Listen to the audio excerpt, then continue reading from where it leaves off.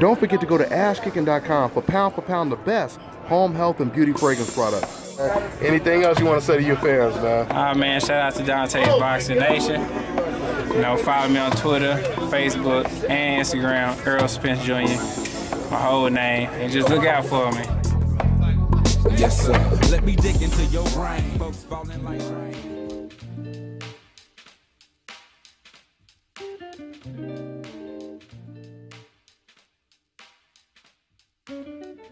Dontae's Boxing Nation, what's going on, guys?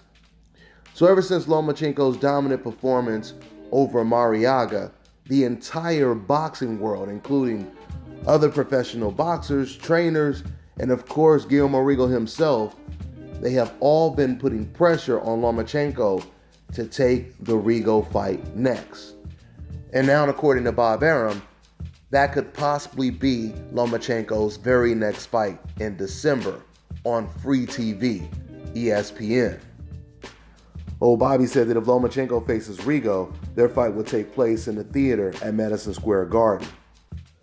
But the second option for Lomachenko is a fight with Orlando Salido, and Bob Arum said if he faces him, that fight will be somewhere in Los Angeles. So, you know, when it comes to Lomachenko, he said a lot of conflicting things when it comes to him possibly facing Rigo. I mean, there was times when he said that I don't need him. Rigo is calling me out. I'm not calling him out. Then recently he just said, I'll get no credit if I beat Rigo. They'll say he was smaller, etc., etc. But we all know that Lomachenko, he would get way more credit beating a pound for pound champion, a top three, top five pound for pound champion, than beating a Marriaga or a Rocky Martinez. That's just common sense. So I don't really know if this fight is really going to come to fruition by December or if it will ever come to fruition.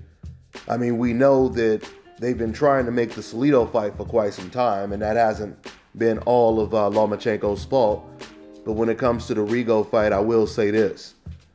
I can't recall the last time I've seen that much talent in the ring at the same time. I mean, we've seen extremely significant fights where two pound for pound fighters were in the ring at the same time, like Andre Ward versus Sergey Kovalev. But even in that fight, only Andre Ward had the Rigo Loma type of skills.